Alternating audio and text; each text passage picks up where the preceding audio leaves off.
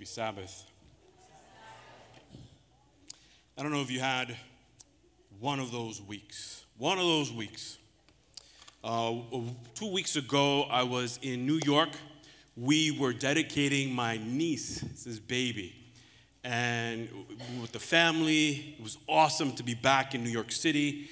And then last weekend, we were at the men's retreat. It was awesome time.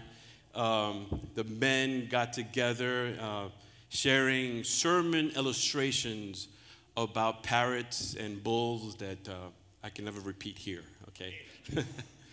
but something that happened that weekend was on Saturday, they called all the pastors to the front and they had a special prayer for all the pastors. And I went along with it, and okay.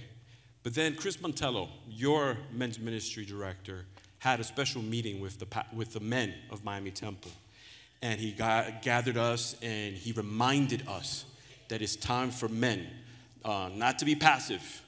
He said it's time for us to take a stand. When are we going to take a stand? When, when, when our marriages are falling apart, when our kids are leaving the church. So he challenged us men to be active and then he said, even though I know that they just finished praying for the pastors, I want the men of Miami Temple to pray for their pastors. So we had Pastor Marsh and Pastor Thompson and myself, and they prayed.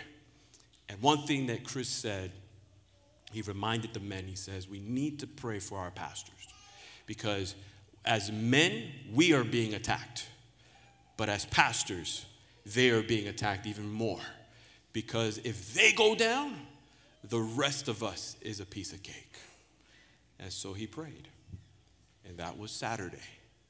A high Sabbath. And it reminded me 2,000 years ago on another high Sabbath where Jesus was at a party. You may want to lower this because I'm going to get excited today. And so he was at a party where Mary Magdalene anointed Jesus as the Messiah. And it was there that he was anointed. And then from there, the next day on Sunday, on Sunday, he rode into Jerusalem on a donkey. And everyone was shouting, Hosanna, Hosanna, blessed be the name of the Lord. And it was a high Sunday, like last Sunday. We were leaving the retreat. We left early. And Pastor Marsh was excited. Pastor Marsh, I always like picking on him when he's not here. Pastor Marsh was excited because last Sunday he was celebrating his three month anniversary. so he was like, Pastor, can we get home? Because, you know, I, I miss my wife. I said, Yeah, I got you, Bob. I got you. Let's go. And so we were driving, we were laughing, and we dropped him off at Lauderhill. And we're in Lauderhill, and I'm like, Hey, Morris. Morris was with me you hungry? Because I know they got some Jamaican patties here. And so we went looking for Jamaican patties, but it was Sunday and the places were closed. Come on, who, who will close the Jamaican place on a Sunday? But thank you, Jesus. There was some pagan that was open on. so we had some Jamaican patties, and Morris and I just drove back home. And so Linda, when I get home, Linda is sitting in the sofa and she says, Babe, uh, look at my feet. And I'm like, Okay, I just drove seven hours. You want me to look at your feet? She goes, I, I, I've, I have a tingling sensation. Tell me, you know. And when I looked at them, they were orange. And I bet they're orange. And, and she goes, Yeah, I thought I had athlete's feet. And so I put that uh, what's that, the cream for the Atlas feet. So it kind of stained her feet. And, uh, Atlas, Atlas foot. And so she went to bed, like, ah, it's nothing. You know, la vieja, you know, you, you, you're, getting, you're getting older. Thank God she's not here. Um, so, anyway, so on Monday she woke up and the tingling feeling went up to her legs, to her knees. And so she went to work. We came back. They, she said, babe, let's go to urgent care. So we went to urgent care. We stayed there. And the doctor said, you need to go to, see, you need to see a neurologist. So Linda made the appointment for Wednesday. But then she went to work on Tuesday. And now she's not feeling well. The, her walk is a little different. And so her coworkers said, you need to go to the emergency room. And so we took her to the emergency room.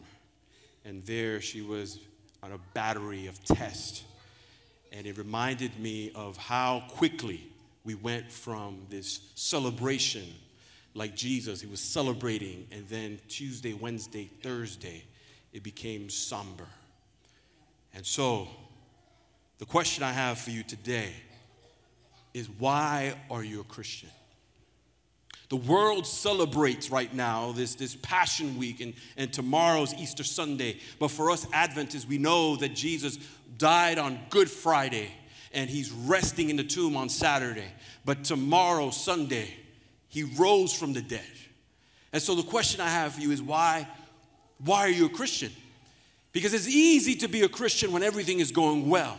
It's, it's easy when we come to church and we had an awesome song service and that song duet, man, it just takes you to heaven. It's easy when all of that is there.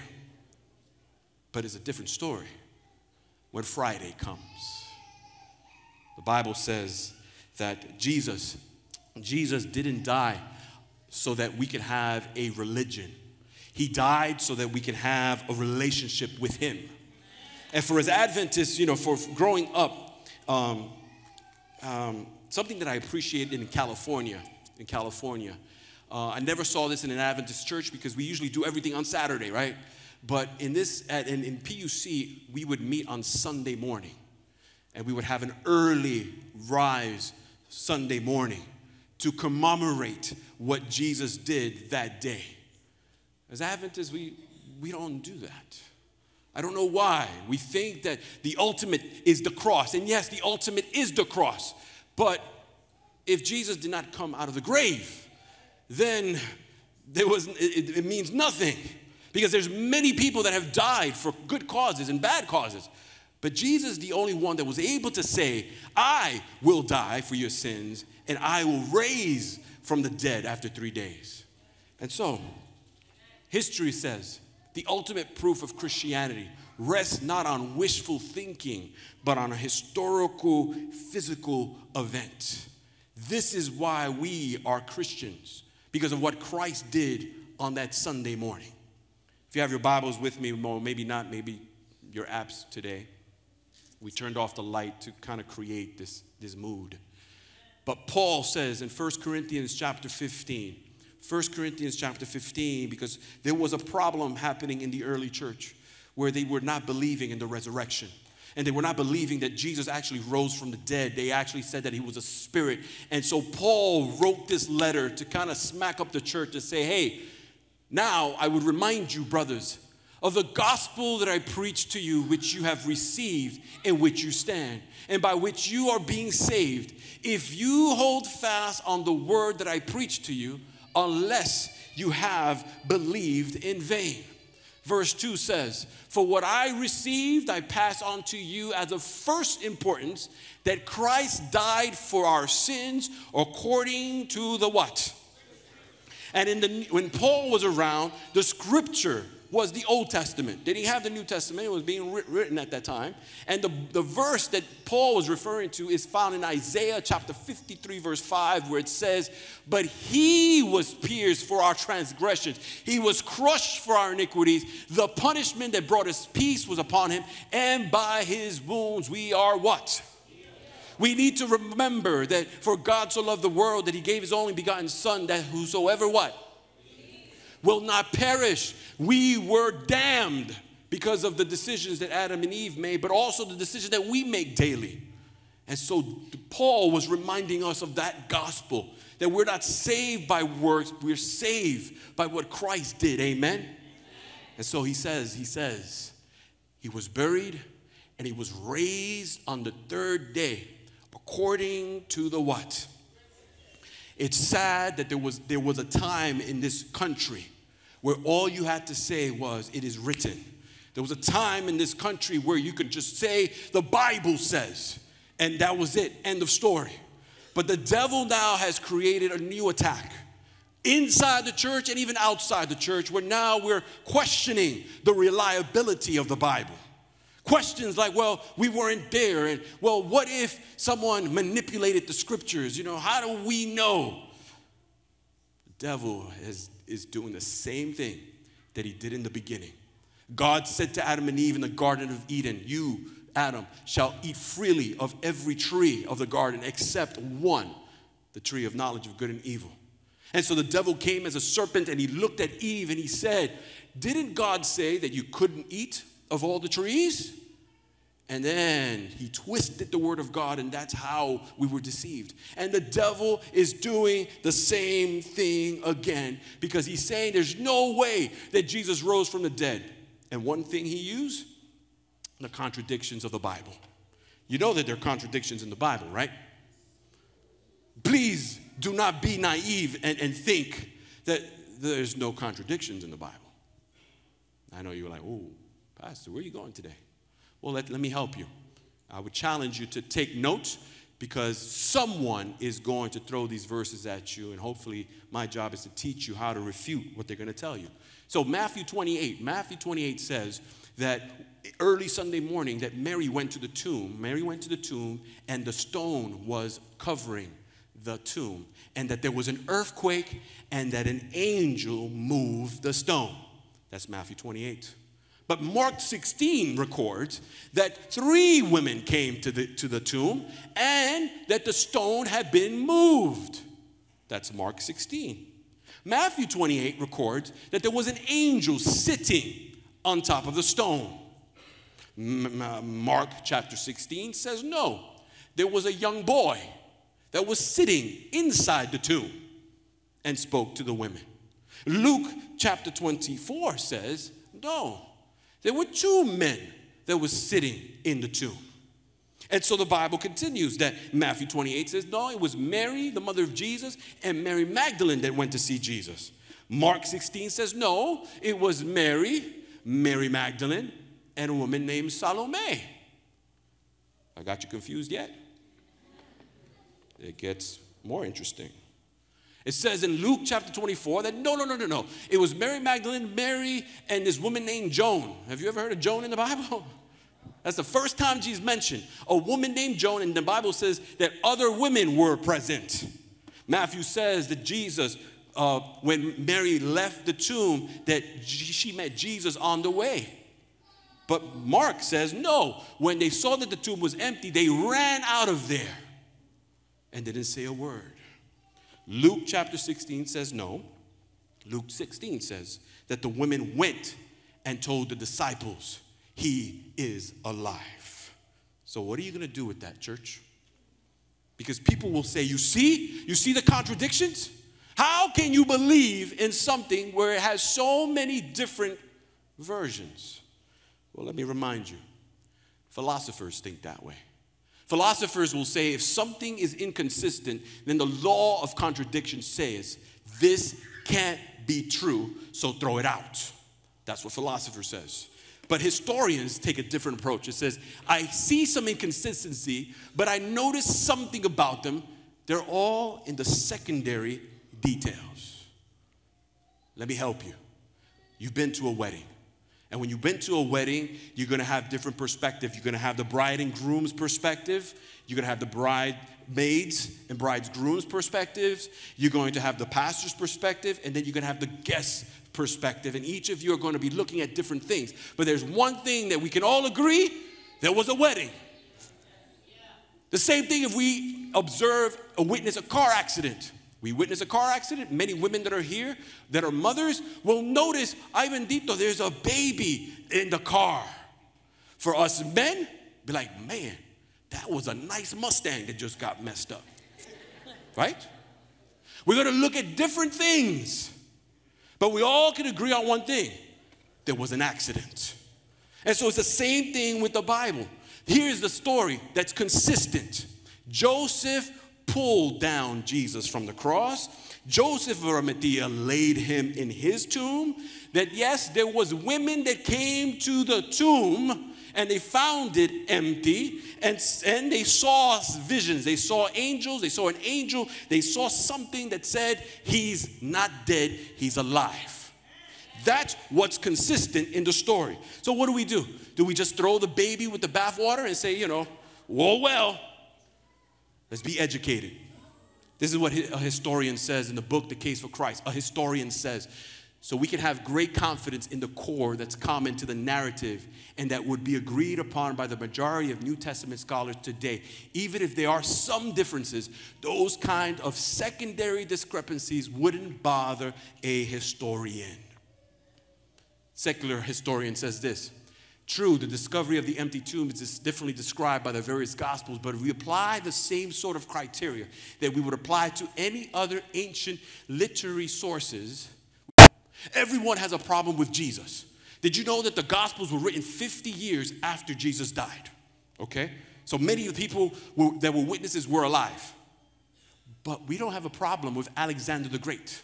We don't have a problem if, if, arguing that our, uh, Alexander the Great lived on this earth, even though his biography was written 300 years after he died. No one argues that. But we have a problem with Jesus. You see how the devil just likes to just take the glory away from God. Here's what a secular historian says. Uh, we, we apply it to any other ancient literary sources, then the evidence is firm and plausible enough to necessitate the conclusion that the tomb was indeed what? Empty. But here's just a thought. Here's just a thought. I'm watching, I'm reliving the OJ trial because of the movie in FX. Uh, anyway, it says, if all four gospels were identical in all their minutiae, that would have raised the suspicion of what? Plagiarism. That's why when they're witnesses, if the witnesses telling the same story, ah, oh, they collaborated. So that's why you have to look at the whole picture, the main picture. And so here's the point. Here's the point. Here's another point. If they wanted to make up the Bible, they would not use women as the main protagonist. Because my, my apologies to the women of today. In the days of Jesus, the women had no worth. Your, your testimony meant nothing in a court of law. They would not call you. And so here is the gospel writers are using women to say he's alive. If it was an invention of man, they would have put Peter, James, and John, like we men, you know, we love the, the attention. They would have put themselves as the star of the movie. But that's not what happened. There are people that would say, well, no. You got to be careful what you watch in the History Channel and all these TV shows. That's not Bible. Hello? That's just like Google, you know. I'm going to talk about Google in a minute. People say that the disciples stole the body of Christ. Really? This is the same Peter that it took a little girl to say, Oh, I know you. I see you with him. I never saw him. I don't know what the. Uh, I'd never seen him. A little girl threw him off. It was the same disciples that abandoned Jesus. And you're going to tell me that all of a sudden they became the Mission Impossible team? Dun, dun, dun, right? And, and they, they, they, they snuck around the Roman guards and they went into the tomb that was sealed by Rome and they stole the body. But I'll give you another one. This is the list of all the disciples and how they died. Andrew was crucified, beaten, then crucified. James was beheaded. Judas, not Iscariot, was stoned to death. Matthew was speared to death. Peter was crucified upside down. Simon was crucified. Thomas was speared to death. Matthias was stoned to death. It's one thing for you to die for the truth, but would you die for a lie? I don't think so. I don't think so. The other thing that they will say is that no, the Romans and the Jews worked together and they got rid of the body. Really? Wow. Then, when Christianity was growing, all they had to do was produce the body of Christ, and that would have destroyed the momentum of Christianity. They did not have to throw Christians in the, in, in the arenas to be eaten by lions if it was a fabrication by the Jews and the Romans. Do you understand what I'm trying to say to you? Because there are people that will even say this one. This is the one that gets me. The swoon theory has been around since the 16th century. And these college kids now, they're like, oh, Pastor, did you know about the swoon theory? I'm like, yeah, it's been around for a long time that says that Jesus was not really dead when they put him in the tomb, that he was unconscious and that the cold tomb woke him up and then he walked out. Church, the reason why I'm saying this, why are you a Christian? Because there will be, there will be people out there that will dismantle your belief system. So here we are. We went to the doc, to hospital, and Linda's getting all types of tests. And yes, we went into Dr. Google. Don't go to Dr. Google if you're sick. The, the symptoms that, that Google gave us was from pancreatic cancer, Lyme disease, uh, uh, deficiency of B12, and then, of course, uh, uh, multiple sclerosis. And so now we're playing this waiting game. What are we doing? What are we doing? We're waiting.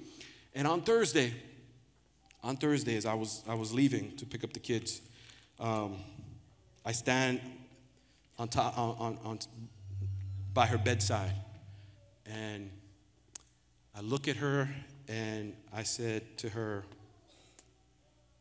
I wish it was me and not you. And it's funny how life, life works, right? You forget certain things. I met Linda, I know Linda since I was seven years old. And we grew up together in the church, and she dated other people, and, and I dated other people. But what brought us together, believe it or not, you're not gonna believe it, and, and, and I will deny it if you say anything. I will say, I never said that. But what brought us together was an organ. Because she was the organist of our church. She doesn't want you to know that she plays the organ, or she used to play the organ. She doesn't play the organ. She doesn't play the organ, okay? And so, me being that, that crazy teenager, she would practice Sabbath afternoon. And so I was like Mr. Smooth Operator. I would say, Hey, Linda, do you need help with turning the pages? And so I would sit next to her, just turning the pages.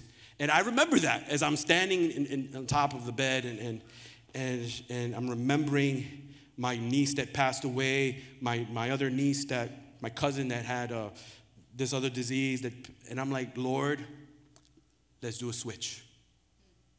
My kids need their mother.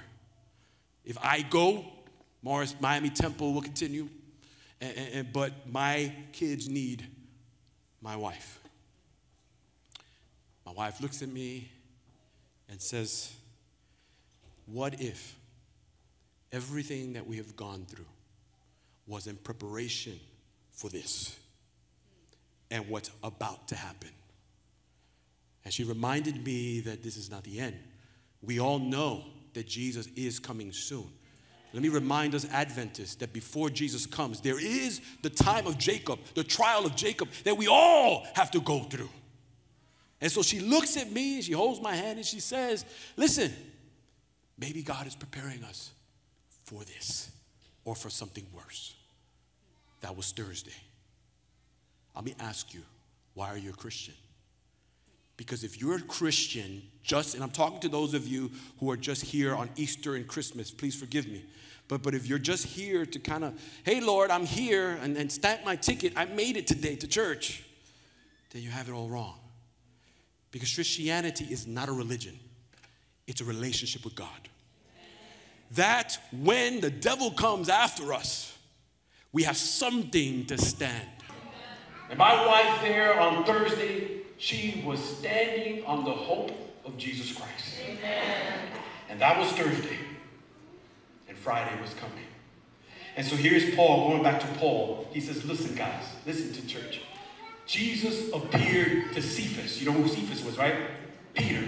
He appeared to Peter and to the 12, and he appeared to more than 500 brothers at one time, most of whom are still alive, though some have fallen asleep. Paul is saying, listen, the, these men are still here that saw Jesus. I'm not making this up. But then in, in, in, the, in the verse that follows, in verse 15, verse 12, I'm sorry, he says, if Christ had not been raised. So now he says, okay, I'll, I'll, I'll, entertain this thought. Let's pretend for a minute that Jesus did not raise from the dead. Did not happen. So he says, your preaching is useless, and so is your faith. And so I'm talking to Miami Temple Church. If Jesus did not rise from the dead, then we, I am wasting my time here preaching to you. Yeah. We should be right here, right now at South Beach, man, just partying it up. Because Jesus did not raise from the dead. But he goes on and says, he goes on and says, For if the dead do not rise, then Christ is not risen. And if Christ is not risen, your faith is what? Futile, and you're still in your sins. Then also those who have fallen asleep in Christ have what? So if Jesus did not raise from the dead, then our dear departed ones that were here with us and are longer with us, we will never see them again. We will never see uh, Katie and, and, De- Deborah. We will never see Willie's mom. We will never see the Andersons again. We will not see Brother John. We will not see my dear Piglet. So Paul says in verse 32, Paul says, then eat, drink, and be merry, for tomorrow we die. But Jesus says, he goes on to say, and if Christ has not been raised, your faith is futile and you're still in your sins. So, Friday, 2,000 years ago, Jesus was betrayed. He was handed to the, the Romans authority, the Sanhedrin. They beat him. They beat him senseless. The Jews beat him. The Romans beat him. And then they put him in front of the people. And, Pilate says, Look, make a choice. Jesus or Barabbas. And he was hoping that they would choose Jesus, but they chose Barabbas. And here is the, the picture. Everyone here, we are Barabbas. We deserve to die. And Jesus took our place. And then they, they took him and they placed a crown of thorns and they, they hung him on a cross and he was there. And he cried out, Father, why have you forsaken me? And he cried out, my God, my God, please forgive them, for they don't know what they're doing. So yesterday, the doctors came. And he said to us, the diagnoses are, are here, the test results are in. You have multiple sclerosis. My wife held it strong. The doctor left, she just falls on my arms and just cries. The woman who I've spent most of my life with, the mother of my children, now we have the unknown. What's going to happen? Just like the disciples, as they saw Jesus on the tomb, they probably thought, what's going to happen now? We followed him for three and a half years and we gave our lives. We left everything to follow this man, and, and, and now it's over. But that was Friday. The Bible says, but now, Paul says, but now Christ is risen from the dead. Now Christ is risen from the dead. Now Christ is risen from the dead. The devil tried to hold Jesus back. The devil tried by putting a whole legion of Roman soldiers outside the tomb. The devil tried to keep Jesus out of the tomb. But when the Father said, Jesus, come out, Jesus said, Yes, sir. And he came out. And because he came out of the grave, the Bible says he has become the first fruit of them that slept. He is the first fruit, meaning that in Israel, when you gave the first fruit, that was an offering that you gave that signified that now what you just gave to God, God is going to bless everything else. And so just because he raised from the dead, now we have the assurance that we will see our loved ones again. Because the Bible says Behold, I tell you a mystery. We shall not all sleep, but we shall all be changed in a moment, in the twinkling of an eye, at the last trumpet. For the trumpet will sound, and the dead will be raised incorruptible, and we shall be changed. So when this corruptible shall have put on incorruption, and this mortal shall have put on immortality, they shall be brought to pass the same that is written. Death is swallowed up in victory. And that's why this hymn was ringing in my ears last night. Because he lives, I can face tomorrow. Because he lives, all fear is gone. Because I know he holds the future. And life is worth the living just because he lives. And so Paul is saying, listen, guys, oh death, where is thy sting? Oh grave, where thy victory. My wife cleared, cleared, cleared her face. And she looked at me and she says, All right, Bob. This is just a bump in the road. The devil know, doesn't know who he's messing with. She wasn't referring to God, she was referring to herself. devil doesn't know who he's messing with and the God that I serve. Because this is not the end. This is a journey that's going to glorify God. And it's amazing how um, God works because, because Jesus rose from the dead, we will see the Petersons, we will see the, the Willie's Bob, we will see the Andersons, we will see John, we will see my little piglet. But here's the other thing I want to remind us that because Jesus raised from the dead, he, he ascended from the tomb, what's next? He's coming back. He's coming back. And that is what Easter Sunday is all about. Thanks be to God who gives us the victory through our Lord Jesus Christ. The Bible says, Paul says, Paul says, Therefore, my dear brothers and sisters, stand firm. I wasn't supposed to be preaching the Sabbath. Paul Graham was supposed to be the preacher. He was supposed to have spring evangelism, but he couldn't make it, so we had to do some switches. And so I'm like, okay, what am I going to preach on? The Lord put 1 Corinthians 15 in my heart. But now 1 Corinthians 15 makes sense to me. Because Paul is talking to me. Laffit, therefore, stand firm. Let nothing move you, Linda. Always give yourself fully to the work of the Lord. And this is what I want to remind us. Always give in to the work of the Lord. The work of the Lord is not just for us to come and sit in church. The work of the Lord is to be multipliers of the hope. To let the world know, yes, Jesus came, Jesus died, Jesus rose, and he's coming back. And he's saying, I need you to stand firm to the work of the Lord. If there's anything I learned this week, church, being in a the whole week, I saw many people that are dying, many people that are hurting. Linda was not discouraged or despaired because she knows that her Redeemer lives. Amen. But there's so many others that don't have that hope. And so we come here every Sabbath, we come here and hear the same message. And God is saying we need to be multipliers of His hope because He's coming. And He says, stand firm. Always give yourself fully, not halfway, not just on Easter, not just on Christmas, all the way fully because you know that your labor in the Lord is not in vain. It's amazing how Facebook preaches to us. They have a feature called Memories. And every morning I get this, you know, hey, we want to, we appreciate your memories and we want you to enjoy your memories of the past.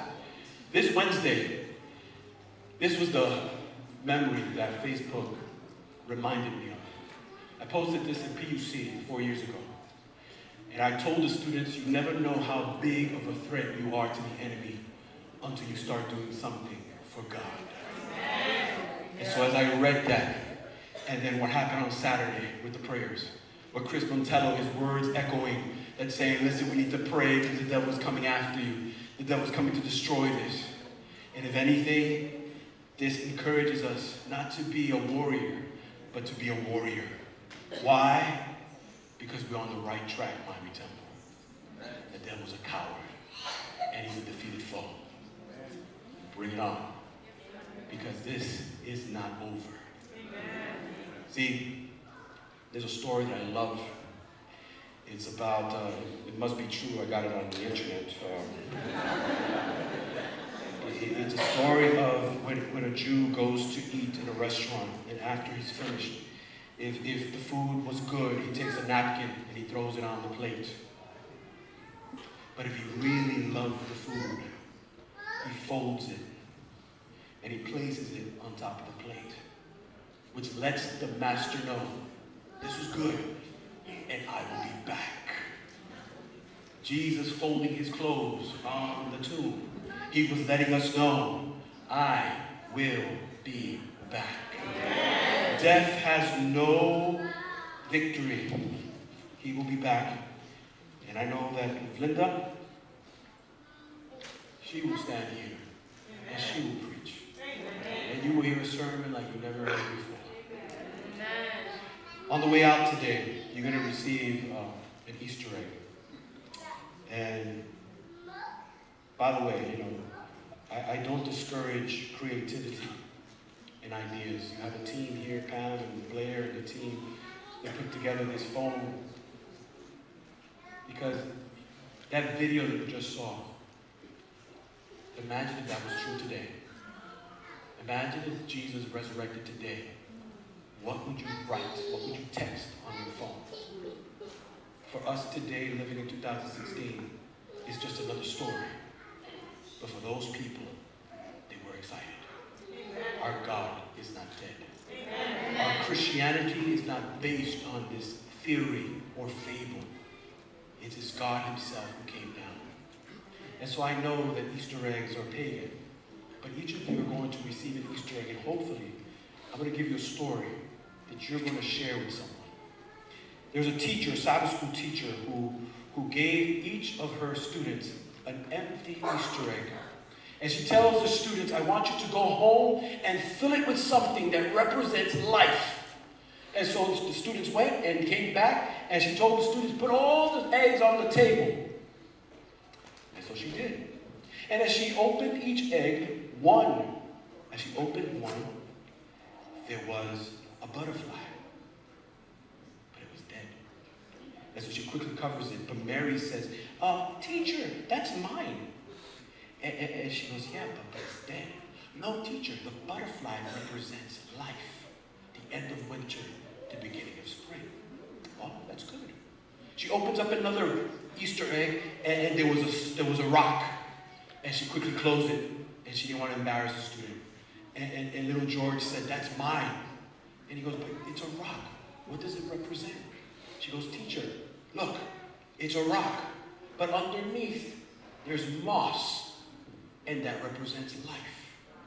And so she did, the students went and, and they were sharing and there were jelly beans and whatnot. And she opened up the last one and it was empty. So she quickly closed it because she knew who gave her this egg. It was David. David suffered from a mental disorder and, and she didn't want to embarrass him. And so she quickly puts the egg away. But, but George was like, hey, that's, that's my egg. And, and she goes, yeah, I, I know, but we're going to start class. No, you open everyone else's eggs. Can you open my egg? And the teacher goes, okay, okay. So she opens it, and all the students start laughing. Ah, ha, ha, George didn't put anything in the egg. Ah. ha, ha. And so she quickly dismisses everyone. Shh. And George says, no, teacher, can I see why it's empty? Please, why did you give us an empty egg? Because the tomb is empty. Jesus is living and he is life. Story goes that at the end of the school year, George passed away. And on that funeral, all the students brought their Easter eggs, opened, and they put it on the casket. Why am I telling you the story? Because you will receive an Easter egg. And I want you to go. There's jelly beans and there's a memory verse, but I want you to find someone to give this to them and explain the story to them. Because if there's anything about the multiplication of hope, what is hope? And I love what, what Alexis put on the bulletin. Hope is to want or expect something that will happen in the future. Right now, what I want more than anything is for my wife to be well.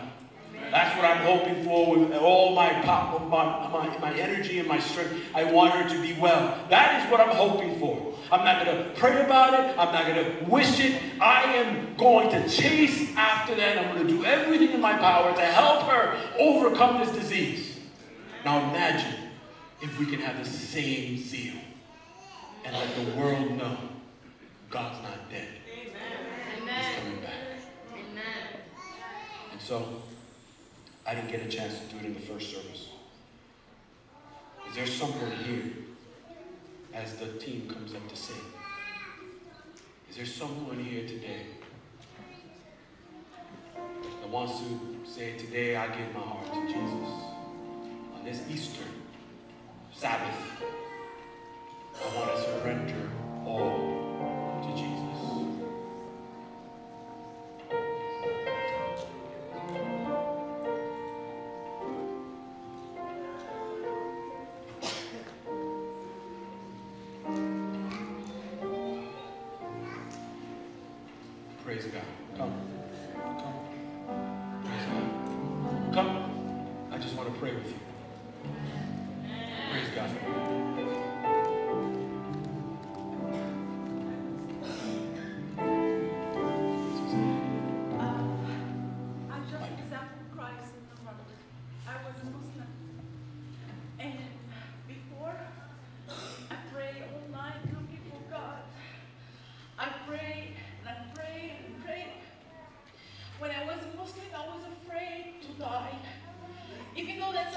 and I pray and I wake up all night looking for Him, talking to Him, but I'm still afraid of Him.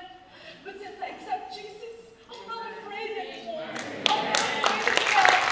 I'm getting And I'm telling you, I'm sorry, I'm shaking. I came today from my friend. It's the first time for me in this church. But I'm sorry to say that. I hope get well with your wife will feel better. She will be okay next Saturday. God will, she will be here and I will come to see her. But if it's not, tell her that she's ready. We all, if you really believe in Jesus in your heart, don't be afraid of that. Because that, you will meet him, you will be with him. You will be with him, you will live with him. It's not the end. It's not.